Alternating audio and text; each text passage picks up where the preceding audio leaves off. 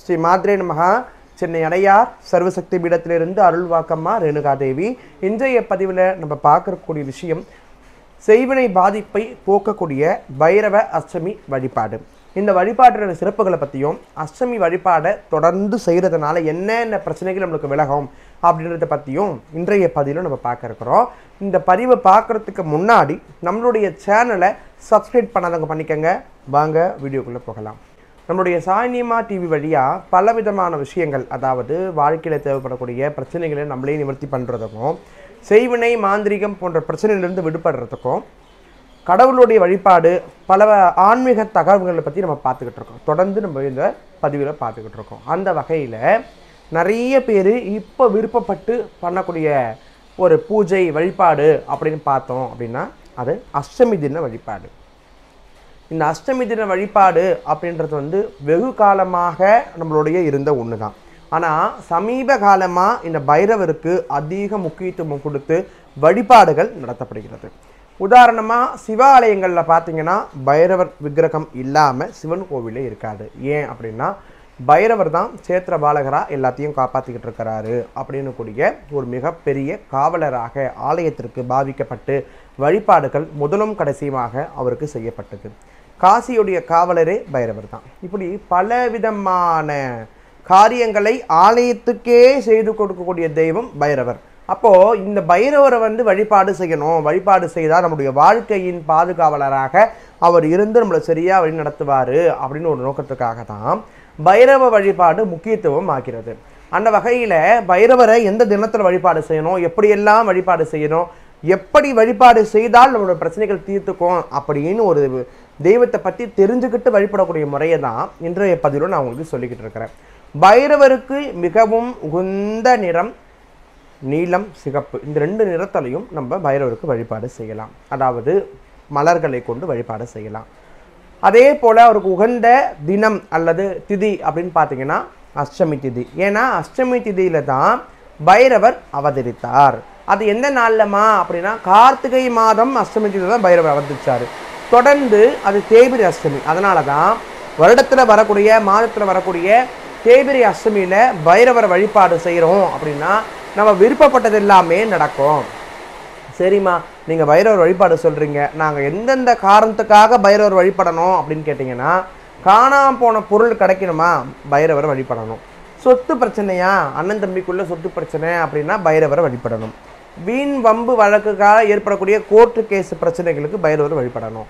நோய் நொடிகளாக இருக்கக்கூடிய பிரச்சனைகளுக்கு பைரவர் வழிபடலாம்.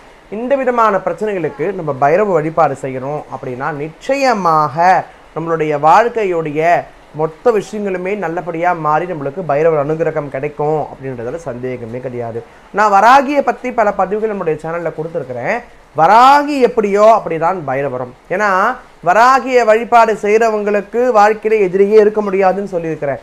அதே போல தான் பைரவ வழிபாடு செய்கிறவங்களுக்கு நம்ம எதிரியாக கூட நினைக்க முடியாது. அந்த அளவுக்கு சுவாமி நம்மளுக்கு வாழ்க்கையில் அனுகிரகம் செய்து நம்மளுடைய வாழ்க்கையை வளமாக்குவதில் மிகப்பெரிய உறுதுணையாக இருக்கும் வழிபாடு இந்த அஷ்டமி வழிபாடு. எதுக்குமா இப்போ அஷ்டமி பற்றி இவ்வளோ அழுத்தமாக நீங்கள் பேசிக்கிட்டு இருக்கிறீங்க அப்படின்னா இது கலியுகம். இந்த கலியுகத்தில் ஒருத்தனை ஒருத்தனை அழிச்சிக்கிறது தான் வழி பார்க்குறாங்களே கண்டி வாழ வைக்கிறதுக்கு வழி பார்க்கல.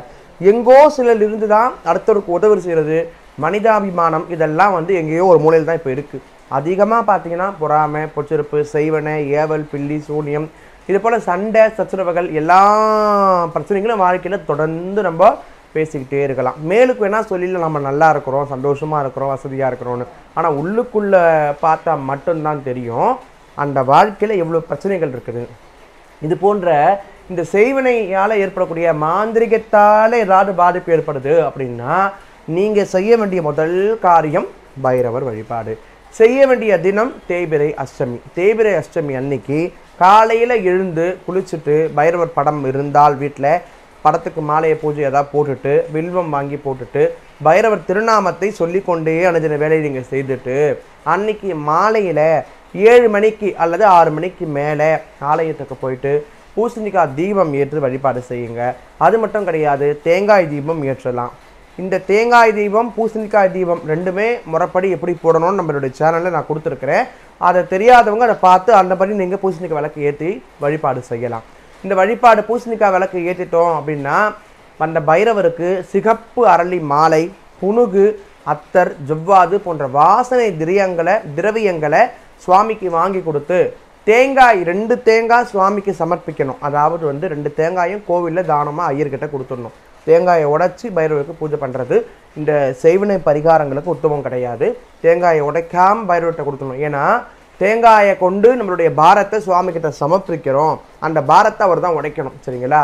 அந்த பிரார்த்தனையை முன்னிறுத்தி ரெண்டு தேங்காயை சுவாமிக்கிட்ட நீங்கள் உடைக்காமையே வழிபாட்டுக்கு கொடுத்துடணும்.